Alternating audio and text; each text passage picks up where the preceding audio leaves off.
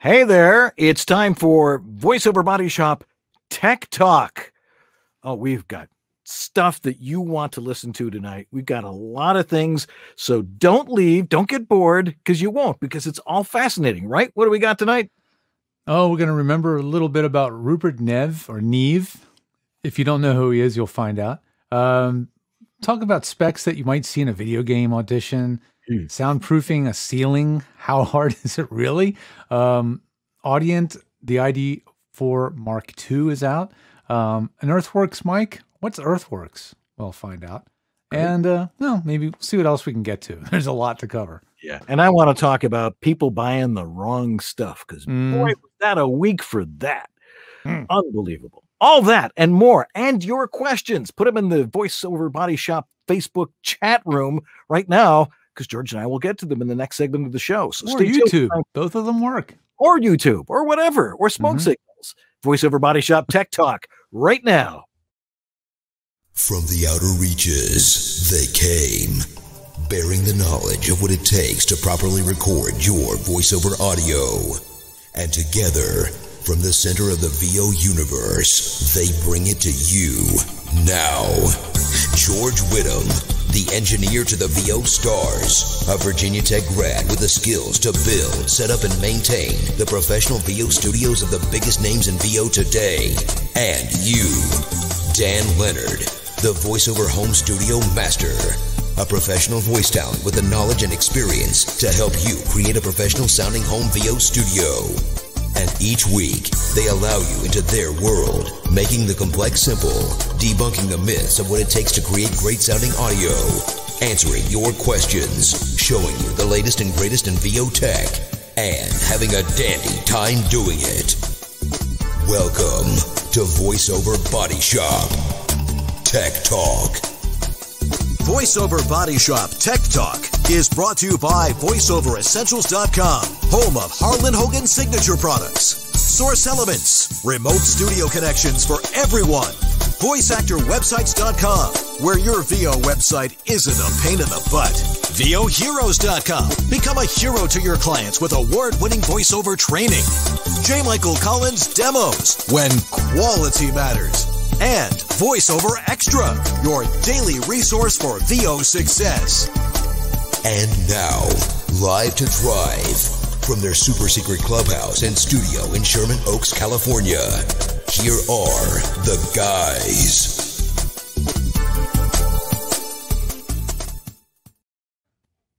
Hey there, I'm Dan Lenard. And I'm George Whittam. And this is VoiceOver Body Shop, or VO BS. Tech Talk. Tech Talk. Tech Talk. Tech Talk. Tech Talk. Because you guys want VO Tech. And when it comes to VO Tech, you know, there's only two guys that really know what they're talking about. You know, which is something we'll talk about consistently. Yeah, consistently. I mean, when, when you think about it, we, you know, we've we've been doing this a long time uh, and there's a lot of people like, yeah, I do voiceover. Yeah, I know how to use a microphone. Yeah, let me explain to you how to do all this compression and all this other stuff. And you got to do this and you got to do that. And this past week, a lot of that came to roost, to say the least. We'll talk about that a little bit later. But, you know, if you need help with your home voiceover studio, if you really don't understand all this technology, you're totally intimidated by it. If it's, you know, because we hear this all the time, and I know you hear this like every day. I, am I'm, I'm I'm technically challenged, uh, which I'm really Amish, as uh, one very well known actor would say. Excuse me. Um, if you're so if if you really want to understand what really is involved in trying to create your home voiceover studio, there's really only two places to go. You got to go to a professional. And this is one of the other cool things is that people like, I, I have this. Is this the way I do it? Unless you hear it, it no one's ever going to be able to tell. So, you know, if you if you if you give us a sample of what's going on there, that helps a whole lot because otherwise there's no standard rules to what goes on in a home voiceover studio because as i always say every voice is different every room is different and it doesn't really matter which microphone you use as long as it's not a bad one uh the, the, the really there's a way it's supposed to sound, and and George and I know what that's about. And uh, so, if you'd like to learn from professionals, work with professionals, have your stuff set up by professionals, so all you have to do is hit record and be a voice actor, which is what most of you want to do. Make your selection or talk to both of us. We don't care. It doesn't matter because George and I just, you know, we just want you guys to get things right. If you want to work with George, where do they go? They go to head over to georgethe.tech or georgethetech.com. Yes, they both work. And uh, you can book services there. Um, I've got uh, a whole menu of different ways I can work with you, specific softwares, different specific issues that you might have. Maybe you have uh, microphone gas, gear acquisition syndrome, and you've got we'll a few of them, yeah. and you don't know which is the right one for what you're doing. So uh, I have a mic check service, which many people don't probably know about. Just send in samples of your various mics that you've done and show me. You know, let me hear a consistent read over these different mics, maybe even using their different alternative settings, and I'll help rank them, narrow it down, tell you which is going to work best for you. So that's just one of the many ways you can work with me. And Dan's site has got a wealth of ways he can work with you over at homevoiceoverstudio.com. There it is right down there. Uh, yeah, check it out. See the the services that I offer. I think the one that most people like to use, uh, as I was saying, I want to hear what it sounds like. Is my specimen collection cup. Mm-hmm. Uh, you click on that; it's a Dropbox, and I will give you a very thorough analysis of your audio. And if I think it just needs a little tweak here, a little tweak there, we can we can talk about that. But if you really are, and I've heard some really bad stuff this week, if you really need to start from scratch, we can talk about a full consultation and get you up and running as soon as possible and not like in a month or two. Uh, sometimes it comes down to the equipment you're using, and again, we'll be we'll be talking about that a little bit later. Uh, but uh, Appreciate it. Go over to homevoiceoverstudio.com. And that's why we're here on VoiceOver Body Shop to help you with your home voiceover studio. And George collects all this stuff every week and we give it a name. We call it It's Time for George's Tech Update Now. oh, I'm having fun with this RodeCaster Pro. It's a fun board. It's fun to hit buttons, isn't it? Um, Well, I'll kick off the show with a little bit of a sad note. And there's, boy, was there, there's just been too many uh, losses to entertainment in the last couple of months or weeks. Well, heck, I mean, I, we lost Chick Corea, which is my favorite jazz artist uh, growing up from probably 12 or 11. Crossed over uh, to a lot of different stuff, didn't he? Yeah, yeah, exactly. He created this, helped create this bridge between rock and jazz, you know, being a big star in the fusion world they called it fusion, and uh, it got me into jazz early on as well. So uh, rest in peace, Chick. Uh, what a loss. Um, but also uh, more pertinent to the audio of pro audio world. Um, incredible engineer, technician, stu- uh, gear designer Rupert Neve uh, passed away at 94. And by all accounts, up until his illness, he was still designing recording equipment. I mean, he is as famous to the pro audio world really as Neumann is to for microphones. When it comes to preamps, nobody is more uh, has there's there's I don't think there's anybody in the world of design of audio gear who we owe more to than um, Rupert Neve. And his designs attribute to or contribute contribute to so many other designs in the studio world. And some of the stuff doesn't even have his name on it. You know, of course, there's things that have his name on it, like the Neve famous, famous Neve mixing console, like you see in this photo. He's sitting in front of one of these big console, unbelievably elaborate, complex, expensive uh, studio installations. These things, these things could easily cost two, three hundred thousand dollars plus to uh, install and wire up, and they're amazing. Don't I kind of went down. I went down the rat hole last night on YouTube watching uh, documentaries about him him his designs and studios that use his consoles it's just if you like audio you need to learn a little bit about the history of uh, Rupert Neve. I mean, uh, it's just an incredible. But anyway, we lost him, and uh, you know his designs and the equipment he designed will, of course, outlast him and will be used for many, many, many years to come. Because as I've said before about microphones, you know, all these mics we're using overwhelmingly, when you look at like a, a standard large diaphragm condenser mic, like here's a classic MXL 1006. This is one of the very, very earliest MXL microphones. They're all really just a take on the design from Neumann, the of the original condenser microphones from 70, 80 years ago. And we're just making them cheaper and easier to attain and easier to use. That's really what's going on here. So, in terms of mic preamps, kind of the same deal. There are tons of mic- microphone preamps you can buy nowadays that are just takes on the designs that he did over the years. Um, probably the most famous would be the the Neve, I guess, 1073.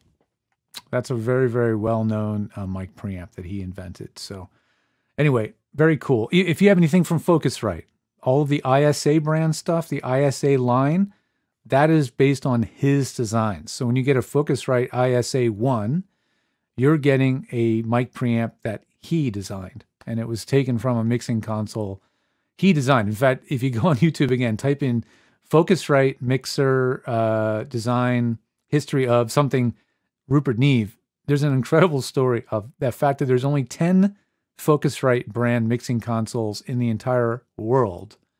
And they talk about who's using them and why and what it takes to run one of these consoles.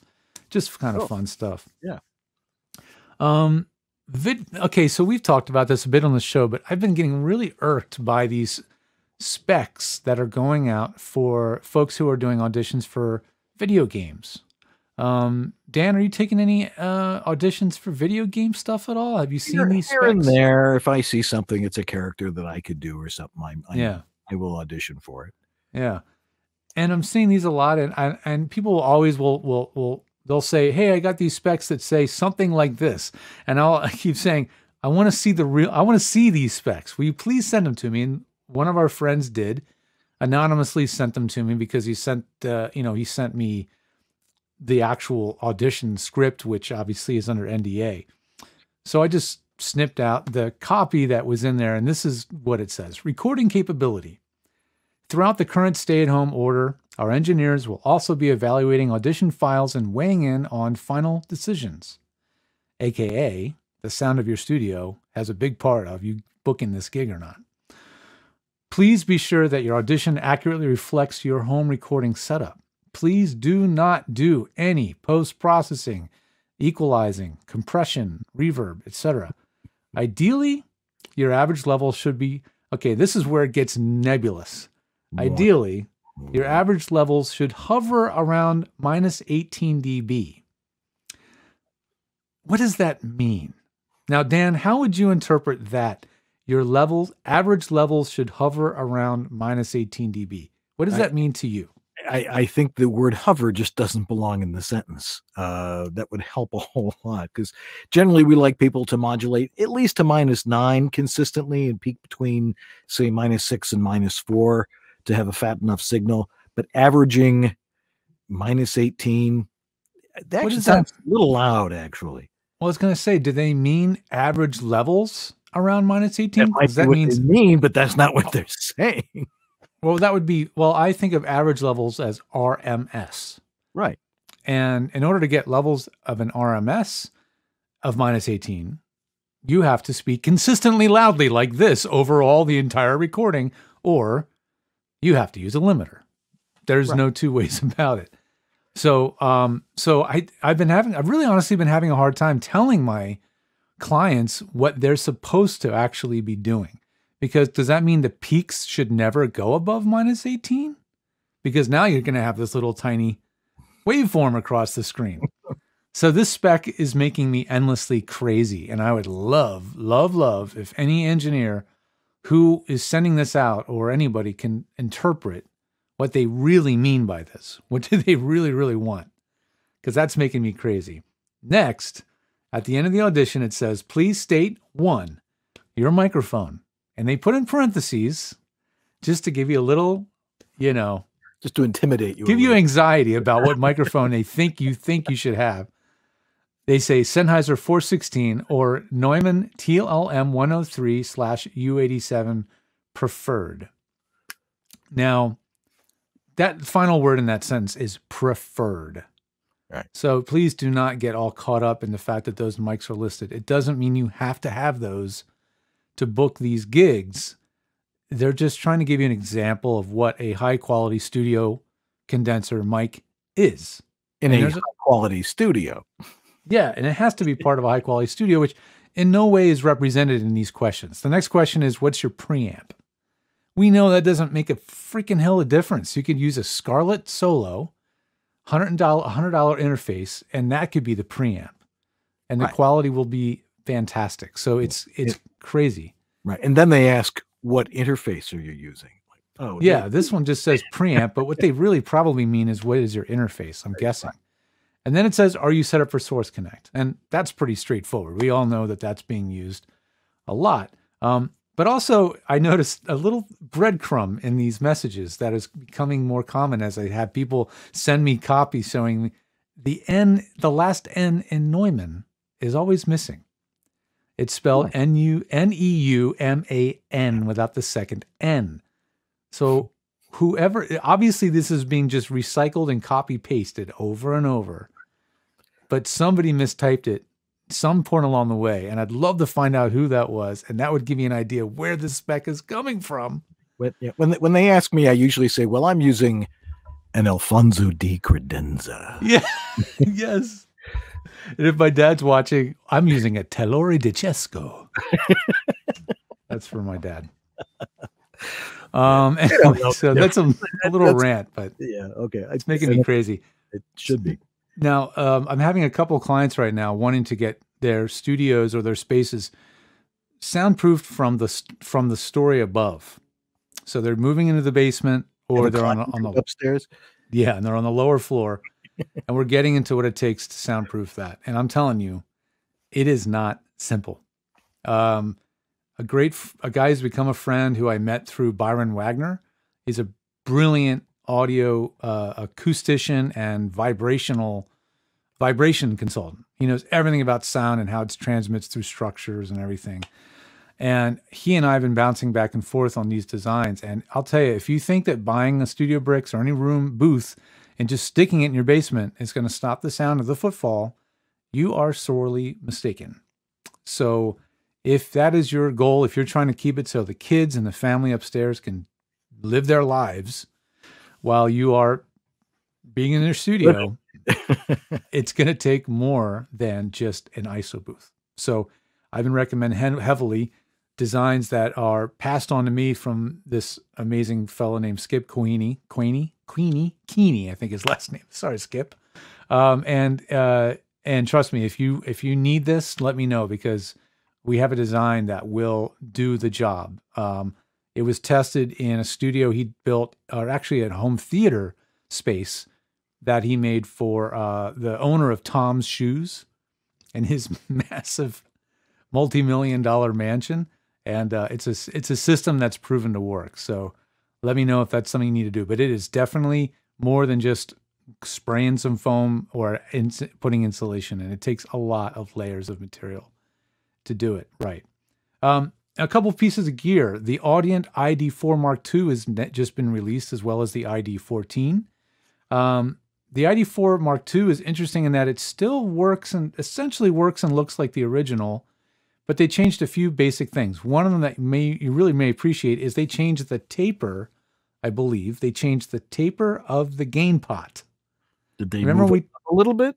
remember we talked about how like you have to turn the gain almost all the way up to There's get more to the, gain on the lower than in the last 20% than there is in the prior 80.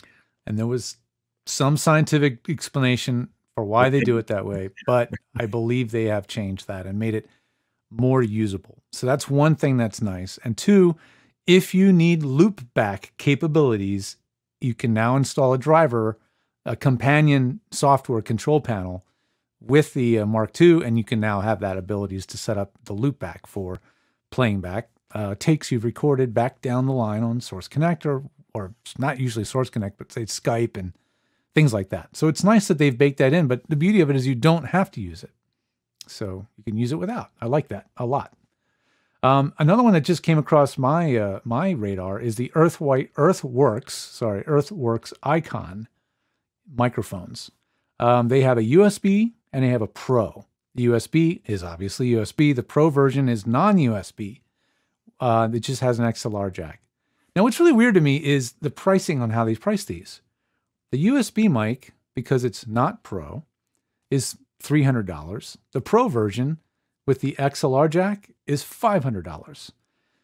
Uh, from what I can tell, they're identical from the microphone down. So, like the capsule and the, the actual design of these things, they look absolutely fantastic. In fact, I'll show you how cool one of these mics looks. If I do a share screen of this tab in my browser, you'll be able to see how cool these mics look. And I know it ain't all about the microphone, folks, but these uh, are an interesting take on industrial design.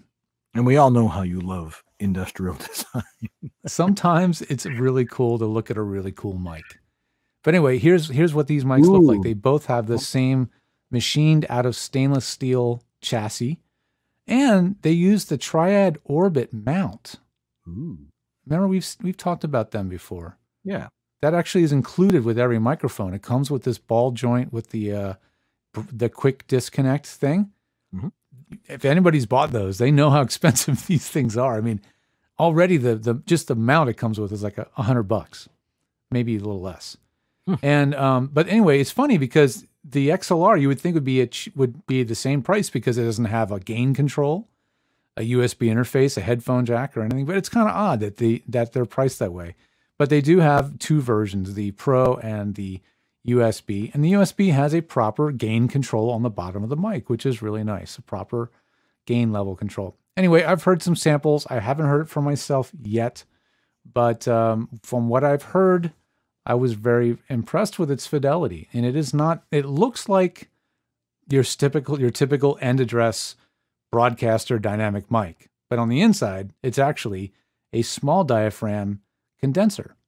So it's a very it's a very interesting microphone and uh, if anybody's looking for something a little bit unique or if you know you're going to be on camera you want something that looks extra cool or you just want to tr- got gearitis and you want to try something new um, from what i can see these are these could be a really nice usb microphone option for someone that wants something really really simple to use cool um, anyway so dan let's talk about bad purchases. Now, does this have anything to do with your upgrading to Big Sur? Uh, no. or how about buying a new M1? Is that I a bad purchase? No, it's not a bad.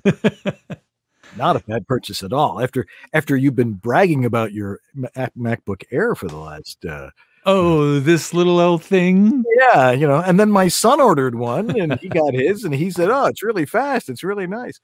Yeah. Uh, so I ordered one if anyone wants to buy an old uh, and not necessarily old, but a, a used uh, Mac Mini, a 2018 Mac Mini with you know, you know decked out.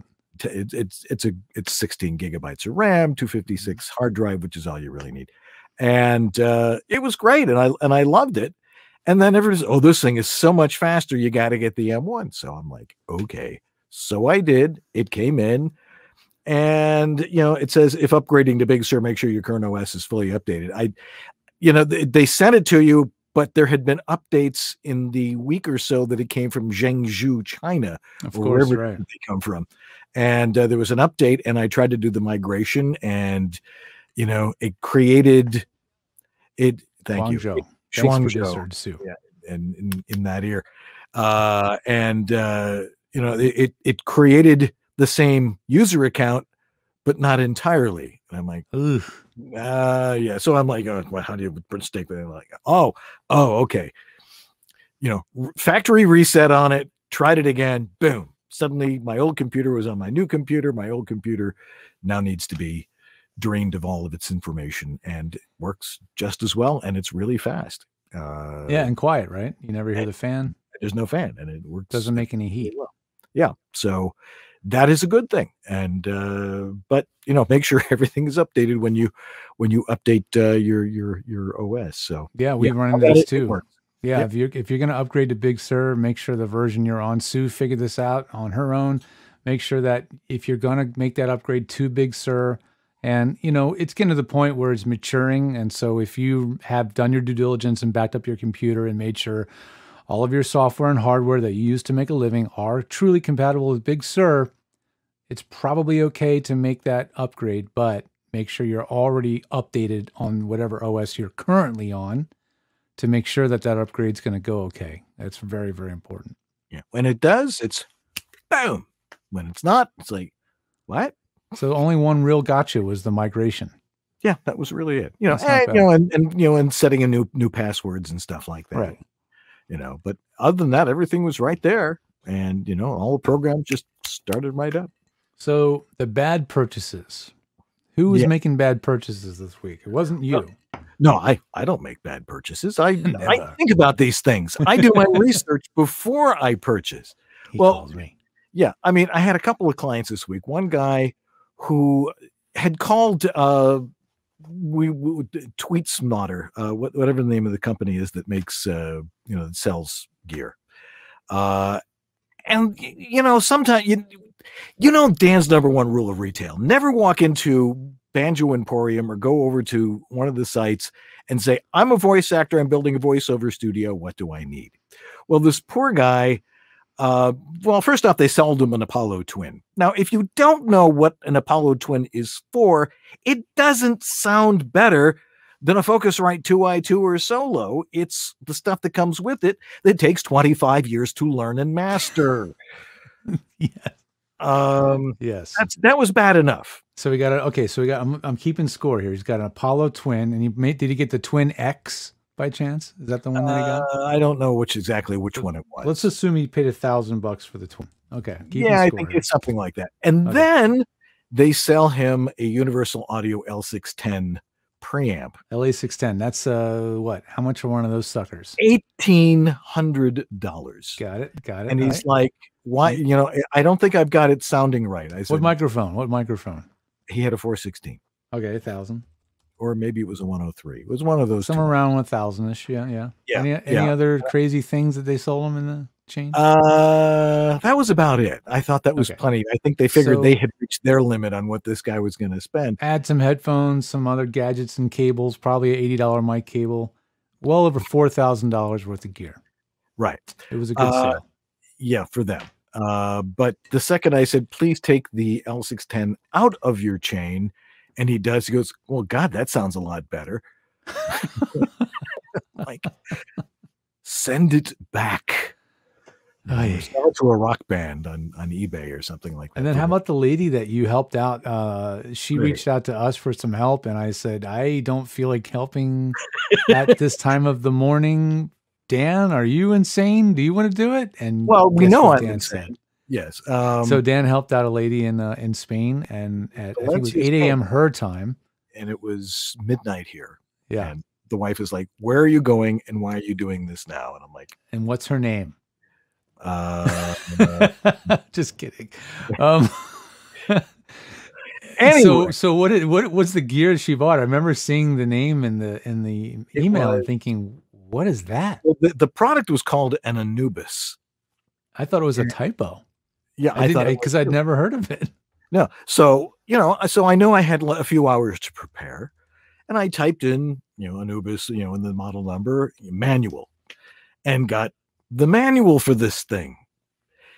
What this thing is. Now, what, what happened was, is the people who had sold her her booth had recommended to her to a an establishment in Germany for a good interface. And this thing is probably about 1800 bucks It It- is eighteen ninety nine. uh, 1900 bucks and what it's designed for is to remotely control multi-tracking of musicians or doing interviews or stuff like that and It's basically a mega Apollo that Yeah. has a heck of a lot more features. Right but it's really designed to remote control somebody else's microphone in their studio and stuff like that and Wow. and control levels which has nothing to do with voiceover and you know and she's like i can't get it to record well the problem turned out to be that she had not downloaded the you know the software for it Right. and and then looking at the software and saying, okay, turn the phantom power on for starters, and then go into Twisted Wave and make sure that was the input, and boom, suddenly it's working again. This thing is really, and it does direct stream digital, which most of you have never even heard of. Trust me. What do you need that for? It does 192 kilohertz sample rate. It does 22.2 surround sound mixing. Stop talk talking about, about it because then people are going to want to buy one. Talk about overkill. I mean, it is no doubt absolutely next level stuff that has zero relevance to a voice actor. Right. So anyway, I said go buy a Focusrite Solo, and you know for like you know eighteen hundred dollars less, and sound just as good. Um, and it is a lot easier to use too. So yeah, that's the big thing. Like we're not, it's you know we don't we're not anti good sounding equipment per se, but so much of it is so unnecessarily complex. Right. And you have now a signal chain that you have to manage the gain staging and you have to know where you should actually adjust the gain out of these seven knobs that are on these pieces of gear. And it's it's just too much to be an actor and engineer yourself. It's too complex. Right. Which is what we teach is how do you get in there, hit record and do your job and yeah. not worry about all this other stuff because all that other stuff is, you know, that these people were trying to deal with was, was irrelevant. You know, good acoustics, proper mic technique, proper microphone, and setting proper levels. That's all you're responsible for. All these little tiny things, you know, if you want to adjust a little tiny thing for room correction, that's what George and his stacks are for. And, you know, if you've got, you know, a little bit of rumble at the bottom, you know, use a little bit of EQ, but don't try to futz with your actually actual sound of your voice. Try to deal with the other things. And to me, everything is physical. Uh, so, you know, make sure that your environment is right uh, because that's really what's going to make everything else a lot easier. Mm-hmm. So that's that's my rant on don't go. You know, if you're going to buy stuff, watch all 200 episodes of voiceover body shop and and of course all 51 episodes now of tech talk where we say this about every other week don't buy this stuff or buy, buy or, the stuff or, or take a shortcut or take just hire one of us. That's I think the the overriding message here. Right. You know, go over to georgethe.tech or homevoiceoverstudio.com. We know the right answers. Everybody else is like, well, they're experts in one studio, their own. Right. We've done probably well over a thousand between the two of us. Uh, oh, definitely. And we we've heard it all anyway, uh, we got a few questions and we can go on to a couple other things. But if you've got a question for us, throw it in the chat room right now. Jeff Holman is standing by and uh, we'll get to your questions about your home voiceover studio right after these incredibly important messages. Yeah, hi, this is Carlos Alazraqui, the voice of Rocko, and you're watching VoiceOver Body Shop. So I was talking to Harlan Hogan this morning. He described Chicago as having permafrost, with more snow on the way. But something warmed his heart. A letter from a satisfied VoiceOver Essentials customer. And here's what he said Hi, Harlan. Getting started in the voiceover business and want a big value for your dollar? Look no further than Harlan's Portabooth Pro and the VO1A mic. These got me started and have proven valuable in producing over 50 titles on Audible. Great results for a great price right out of the box. Douglas Burke, the agile narrator. So if you do audiobooks, clearly these two products from voiceoveressentials.com can help you get it done. Go on over to voiceoveressentials.com to see all the great voiceover recording equipment and accessories you'll ever need. That's voiceoveressentials.com, the home of Harlan Hogan's signature series products like the VO1A mic and the Portabooth Pro and Plus. Thanks, Harlan. Well, hello there. I bet you weren't expecting to hear some big voiced announcer guy on your new orientation training for Snapchat, were you? Stick around. You don't want to miss this. Power 1039. At Target, we want you to come as you are. Be comfortable. Uh, okay, maybe not bathrobe comfortable. Pants for the customer in aisle four, please. Nuevo México necesita un cambio. La representante Michelle Lujan Grisham ha luchado por nuestro estado en la Cámara de Representantes. Watch anywhere, anytime on an unlimited number of devices. Sign in with your Netflix account to watch instantly at Netflix.com. The ice cream maker is a big risk that can have huge reward until you forget to turn it on. Well, that's it, guys. Time is up. Hey, it's JMC. Thanks for watching the VoiceOver Body Shop. If you're demo ready or looking to get there, check out jmcdemos.com and see a sample of our work. Now let's get back to Dan and George and this week's tech wisdom. Let's talk about Source Elements, the creators of Source Connect. Uh, boy, you guys, you're quite familiar with Source Connect. We've even already talked about it during this show because, yes, it's on the audition requests of many, many of the productions that are going on right now in voiceover, especially the big time ones, the video games, the high budget productions where the engineer wants to have total control of the production workflow and wants your audio sounding pristine, but also being piped right into a track in Pro Tools. And that's what Source Connect allows the studio to do. It does it so elegantly. It was designed for this from the get go, from the ground up for this purpose.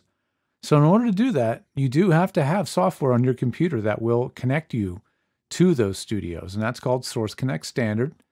Um, you want to get a subscription, and I, re- I recommend the subscription. You can do a buyout, one time buy, but I recommend the subscription. It can really be a good idea because there are new things coming, and you will always be up to date with the latest updates, and you'll always have access to their support. So check it out. If you want to get it set up, go to source-elements.com and check out their new website, which has made it easier to get started with Source Connect and get the ball rolling. Let us know your what your first Source Connect gig was. Thanks a lot for listening. We'll be right back to answer tech questions. This is the Latin lover narrator from Jane the Virgin, Anthony Mendez, and you're enjoying Dan and George on The Voiceover Body Shop.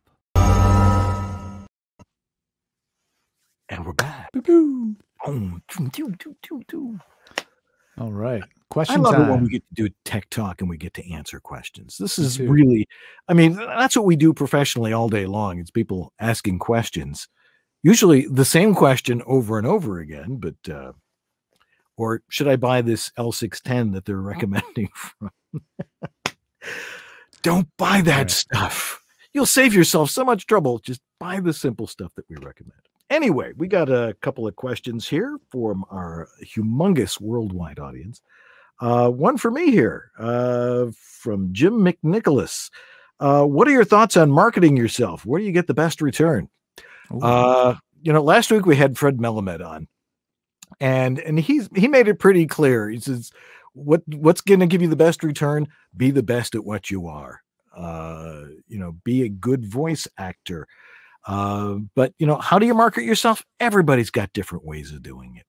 Uh, and and what gives you the best return? The one that you work the hardest on. And if you're working hard on being a good actor, someone's going to notice you. Uh, you know, but you can you can be on the pay to plays. Sometimes those work out. Sometimes you know it doesn't.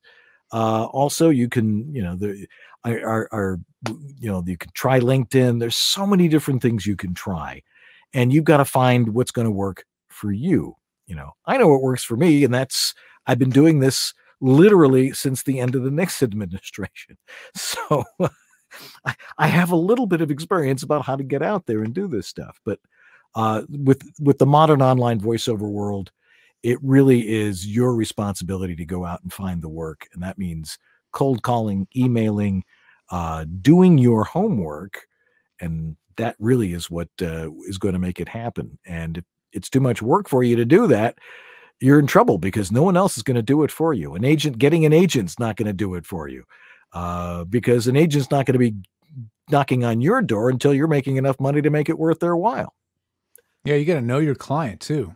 Um, if you're looking, if you're if you're doing the wrong kind of, it's like fishing. If you're using the wrong lure, you're not going to pull in that fish you're looking for, right? I mean, you have to use techniques that will reach the kinds of clients you're looking for. So, if you're marketing to just local businesses, hoping to get on their phone system or on their, you know, their local radio spot, then cold calling them might work pretty well. But it depends. You know, you have to know your client and- the way they look to be reached out to. That's probably very important. Yeah, you've got to be we got to do it face to face. Uh, interesting. Jake Thomas Garner. Uh, do you think it will ever go back to artists being called into studios to record voiceovers? I think that's pretty obvious that it will. For sure. I mean, it's going to happen eventually. You got all these studios out there, and Yeah. well, and and amazingly, I think my wife was reading somewhere it's been the lowest flu season on record. Nobody's getting the flu. That's right. You know, it's like everybody's washing their hands everywhere, so they're not getting Right. the flu. Right, exactly. You know, and the people that aren't are getting COVID. Uh, so I, I think that says a lot for that. Um, you know, those germs are always out there. But yeah, eventually they're going to let us back into the studios. Um, but, but now that a lot of producers are seeing that some really good quality stuff can come out of your your closet, even though they think you're in some big expensive place that George built, um, that uh, it is uh, it's it's cost effective to do stuff from home, and uh, I think that uh, the work that people are doing now to get their their home studios up to snuff is going to pay off for those people that do it right. And back to the last question, are really good voice actors. What do you think? Yeah, I yeah, no, there's no doubt that especially in the kind of work that is traditionally done in a commercial studio, I think uh, much of it will return. Um, but there there's got to be some cases where uh, actors got cast on shows and things who don't live in LA and are they going to now start flying them in when they could re-record and when they could continue to do the production remotely? I probably doubt that. But whatever they choose to do, it's going to be because it's good for their bottom line. So if you Yeah. being there is going to save them money, you'll be there. If you working remotely the way you have during the during, this period is uh, actually ending up saving them money, then you're going to keep working remotely. That's really what's going to determine how this goes down, you know. So it's going to depend. We shall see. We shall see. Jeff Holman, our very own Jeff Holman, he says, How far away can you get from a Sennheiser 416 capsule if you have a good studio and still have it pick you or pick you up well? Um, good question. That's a good question. I mean, these mics, this is a Sen, this isn't a Sennheiser, this is the Rode, but it's a shotgun mic in the in the vein of the Sennheiser. Um, if the room's acoustics are well tuned, like say you're in a, in a good quality commercial grade uh, or television or film studio quality studio with very high ceilings, but the room is really well acoustically tuned, you can be quite far away. Um, I mean, think about it. These microphones were really designed to to have a long reach. Um, on the end of a boom pole, hovering above the head of the actor, sometimes several feet, so they're not on camera. And they do a very, very good job of this when they're aimed correctly and everything is set up correctly. So yeah, you can be quite far away. Um, this is a dumb experiment because I certainly don't have a well-tuned room, but I can stand. Let's see. Uh, I'm gonna guess I'm I'm about two feet away right now. So now you're starting to really hear the room become a lot more of a factor. I'm projecting a lot more because if I don't, I won't read quite as well.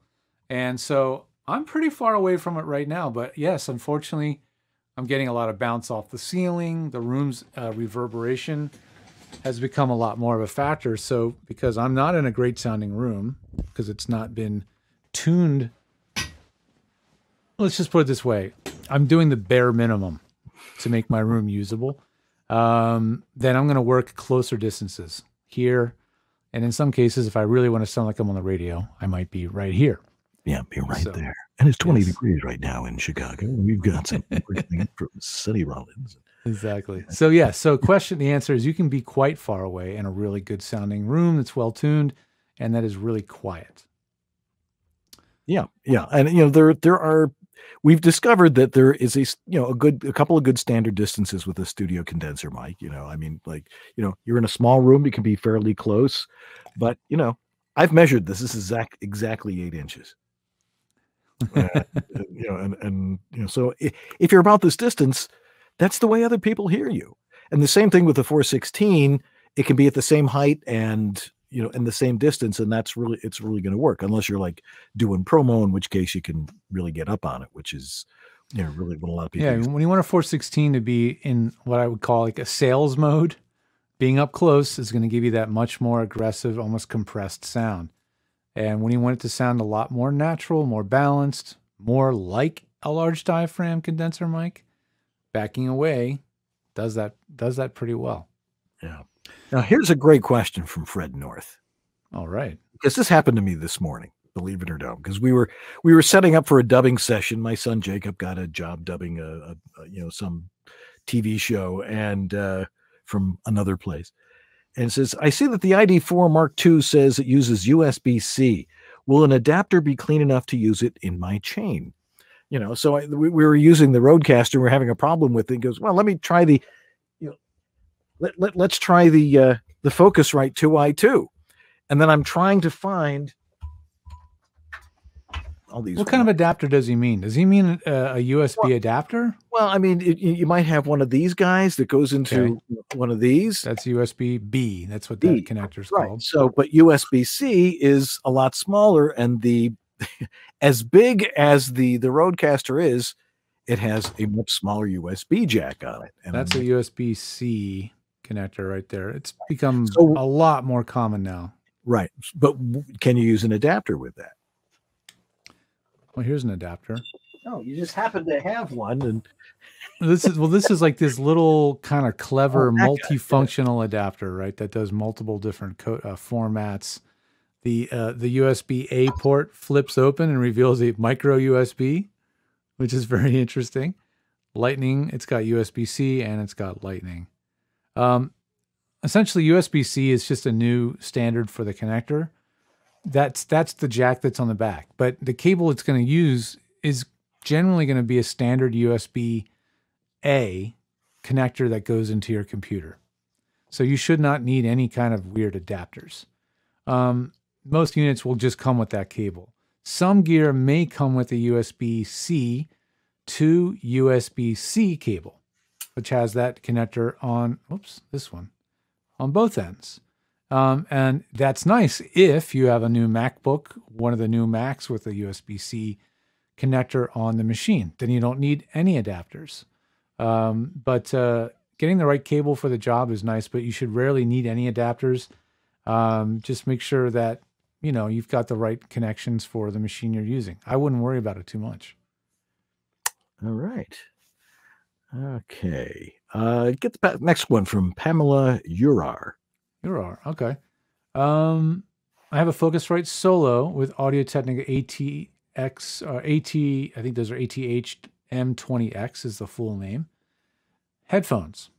They are really there's a they're really good budget headphones. Um, they're both new. Um, I'm on an El Capitan Mac, which so is not about new. five five six years ago. For some reason, whenever I'm on a Zoom call, though, the sound goes.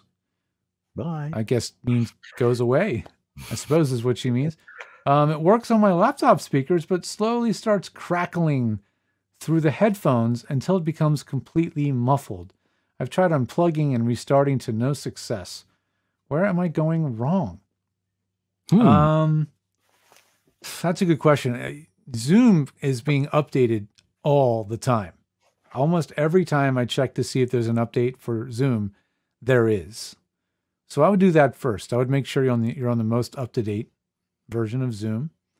Um, and you didn't mention if you're recording or not during this, so I don't know if you're recording in some other program while this is happening or not. So if this is happening without recording, that definitely is rather unusual.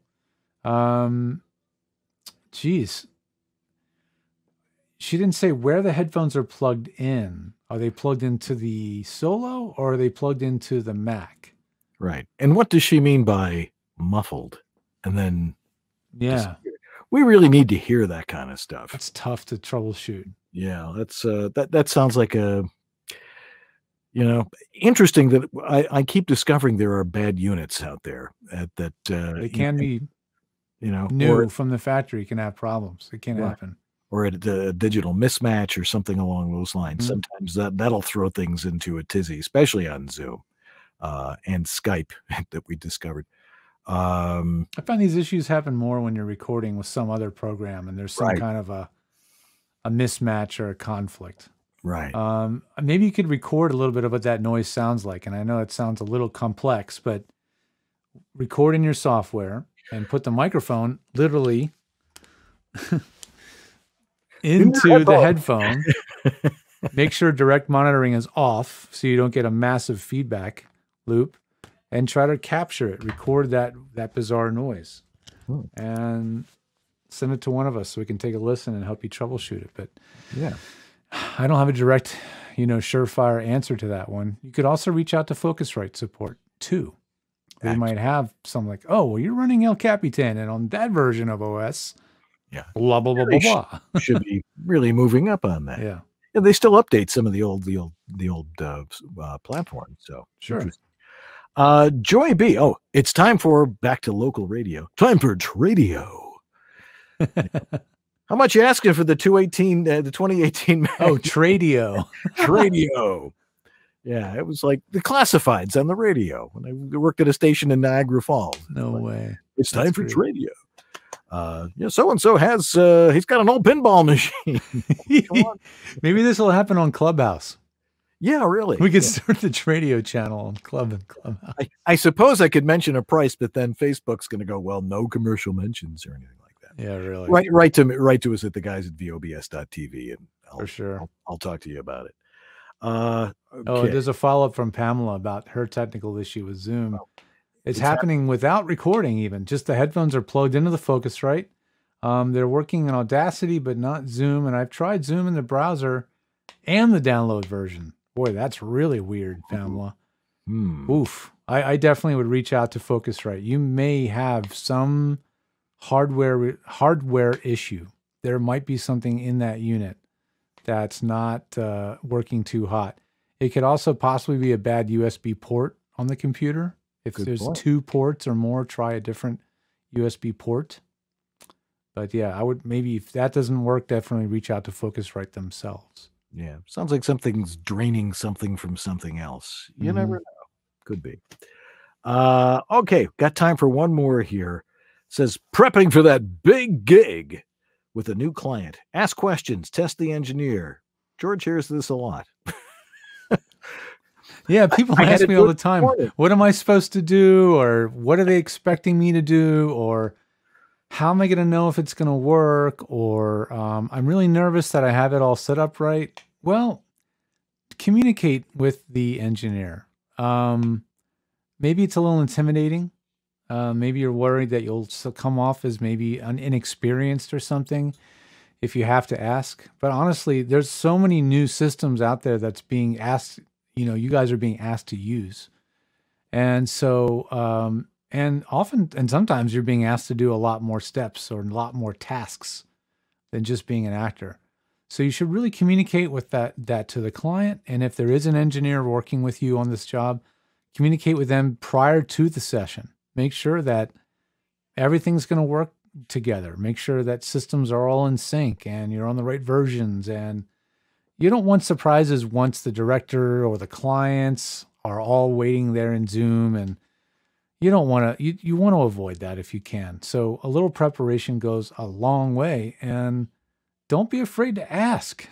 don't just don't be afraid to ask. I mean, tell them tell them this is your first time doing this exact combination of systems and you want to be sure uh, everything goes off smoothly. I mean, does that sound too hard? Does that sound uh, like a bad idea? Does that sound prof- unprofessional? No, with, you? like you said, with all of the the the different systems that are out there right now, and we know there will only be more as others fall by the wayside.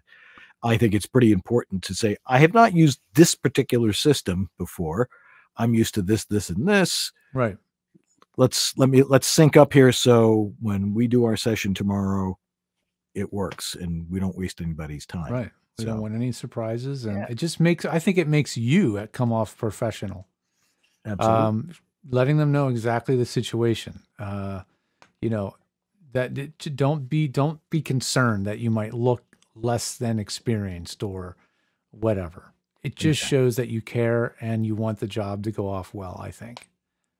And if they don't say anything or they just don't reply, you you tried, you know, uh, you did your job. And if the session has technical problems during the the job, hopefully the engineer is really good at troubleshooting on the fly and it won't be time wasted. So, Absolutely. but that's uh, you know, do your best to prepare. Absolutely. Well, speaking of wasting time, you've not wasted it for the last hour as we've jammed about, about uh, home voiceover studio technology. Some of it, maybe it goes over your head, and some of it's like, oh, that's really simple. Well, that's why we're here. Anyway, we'll be back to wrap it all up into a nice, tight little package right after these messages. Yep, this is VOBS, proving anybody can have a show these days. Hey there, it's David H. Lawrence, the 17th with VO Heroes, and you may be watching VoiceOver Body Shop, VOBS, because you're interested in becoming a voice talent, and you looked around the internet, you found that this was a great place to come, and you're absolutely right. Um, but you don't have any of the knowledge yet as to how to get started, and I'd like to help you with that. I've got a free course online. You can take it anytime you want. It's called Getting Started in VoiceOver, and it walks you through the equipment you need, the business side of things, the actual categories of voiceover work that you'll likely be pursuing, and also the mindset that you need to have when you're getting started and moving into being successful at doing voiceover for a career. So if you're an actor or you're not an actor, you want a side grade from another business, you want to learn about voiceover, go to voheroes.com slash start. That's voheroes.com slash start for the VO Heroes Getting Started in VoiceOver class, and I'll see you there. In these modern times, every business needs a website. When you need a website for your voice acting business, there's only one place to go. Like the name says, voiceactorwebsites.com. Their experience in this niche webmaster market gives them the ability to quickly and easily get you from concept to live online in a much shorter time. When you contact voiceactorwebsites.com, their team of experts and designers really get to know you and what your needs are. They work with you to highlight what you do. Then they create an easily navigable website for your potential clients to get the big picture of who you are and how your voice is the one for them. Plus, VoiceActorWebsites.com has other great resources, like their practice script library and other resources to help your voiceover career flourish. Don't try it yourself. Go with the pros. VoiceActorWebsites.com, where your VO website shouldn't be a pain in the you know what. This is the Latin lover narrator from Jane the Virgin, Anthony Mendez, and you're enjoying Dan and George on The VoiceOver Body Shop. And we're back here on yes, VoiceOver Body Shop. Yeah. Boy, Do you I recognize look- any of the parts inside this piece of amber? Uh, does, uh, well, it looks like all sorts of stuff. I can't quite see it quite clearly. What is it? There's one right there. An RCA oh, I, oh, I see. I see an, uh, an RCA jack there. Maybe a capacitor. Capacitor. a resistor. Yeah. My dad made this. I don't know how long ago. My dad made this eons ago. It sat in his ham shack this has his old call letters from being a ham radio operator in there too. WB3CWN.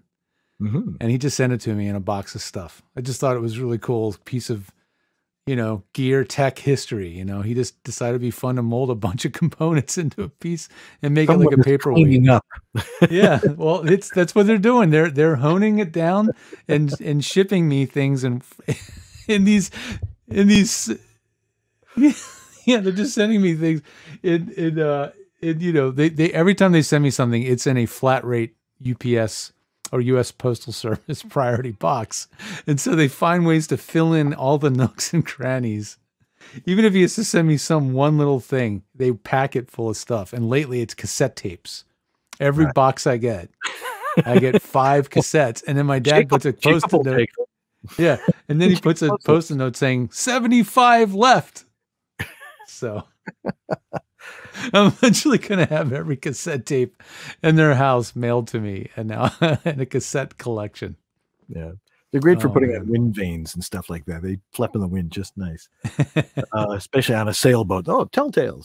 I got a whole Ah. cassette here. It's that'll it'll be fine. anyway, who are our donors of the week? Oh, well, we have a few names that have trickled in this week. We have Christopher Epperson, Christy Burns, Graham Spicer, and this just in, Larry Hudson. All right. Thanks, Larry. Yeah. Appreciate it very much. Yeah. Next week on this very show, by the way, we've got our good friend uh, Mary Lynn Wissner. Uh, if you're familiar with her at all, she Oh, yeah. is a top coach, an industry expert. She knows all the agents and she knows what it really takes to get going in this business.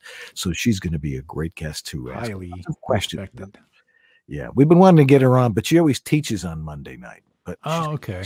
Free next We Monday. lucked out. so Gotcha. have her on. All right. Uh, let's see. Hey, you need help? GeorgeTheTech.com or George, what is the rest? V of tech. You know, I keep making these slick domains. Nobody it. can say them. Just georgethetech.com. It works fine. Yeah. And you, you can find me over at homevoiceoverstudio.com, uh, where we will help you with your home studios. Uh, thanks to our sponsors, Harlan Hogan's Voiceover Essentials. VoiceOverXtra, There it is. Source Elements, voheroes.com, voiceactorwebsites.com. and JMC Demos. Alrighty. Our thanks to Jeff Holman dragging all those questions off of Facebook and YouTube, apparently, uh, and uh, doing a great job with that. Sue Merlino, our marvelous technical director, getting everything right and in the right order. Uh, and that's the most important thing. Uh, getting the show out every week, and Lee Penny for simply being Lee Penny. Well, that's going to do us for us this week. Hopefully, you know, you hit record and everything works. Uh, but most importantly, if it sounds good, It is good. I'm Dan Lenard, I'm George Whittam, and this is voiceover Body Shop. or VO BS. Tech Talk. Tech Talk. Tech Talk. Tech Talk. Tech Talk. Tech Talk. Tech Talk.